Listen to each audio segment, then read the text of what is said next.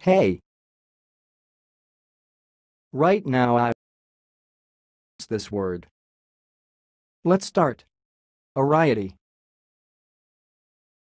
Ariety. Right, I will repeat one more time. Ariety. Ariety.